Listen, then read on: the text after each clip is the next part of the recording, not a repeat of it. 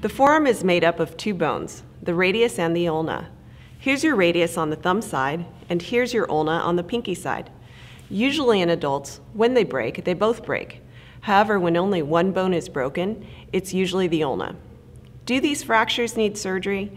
The answer is, it depends. It's important for the broken pieces to be lined up, and in cases where only one bone is broken and it's not out of place, it is possible to treat it with a cast or a brace. But even in these cases, if the bone moves out of place, it may end up requiring surgery. When both bones are broken, or if the bone has punctured the skin, then surgery is usually required. Most commonly, this is done with plates and screws. After surgery, a cast or a brace may be required, but your doctor may also choose to use only a soft dressing. It's important after surgery to start motion of the hand, wrist, and the elbow early to avoid stiffness while protecting the repair so that it heals correctly. Usually the plates and screws are left in place.